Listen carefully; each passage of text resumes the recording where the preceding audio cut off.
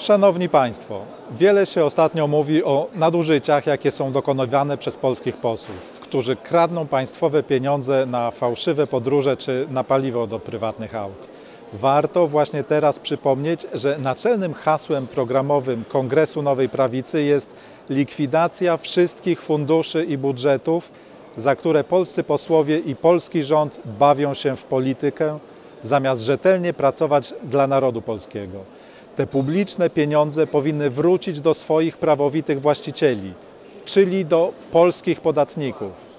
Kongres Nowej Prawicy ciągle powtarza, że pieniądze dla polityków i na administrację publiczną są po prostu marnotrawione. Co roku z państwa podatków do partii politycznych trafia prawie 55 milionów złotych.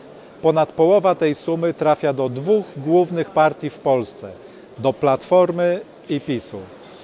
Te subwencje rozleniwiają polityków i urzędników, korumpują ich, uczą, że pieniądze dostaje się za darmo, a nie, że trzeba na nie ciężko i uczciwie pracować.